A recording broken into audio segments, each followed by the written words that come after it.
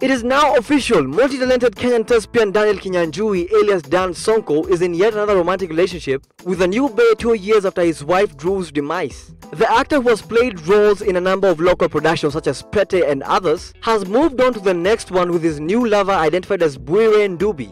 Confirming the union on Monday, February 25th in an interview on radio, the father of two who was alongside his new lover stated that he started dating with the lass one year after his wife's death. Well, I guess congratulations.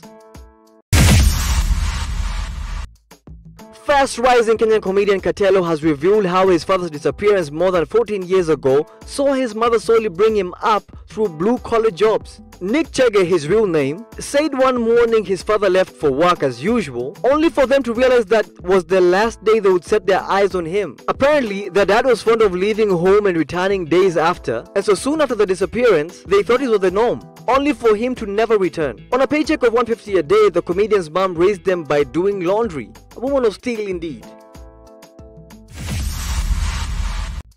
Nicah the Queen is not shy to confess that she still loves her ex despite the dramatic breakup on social media. The mother of two revealed this to her IG page where she held a question and answer session. One of her followers went on to ask her whether she still loves Dr. Ofweneke, and to her surprise, Nicah did not hold back from confirming she still loves her ex, especially since they have a child together. However, Nikki went on to specify that she was not in love with him but loved him as a person or rather friend.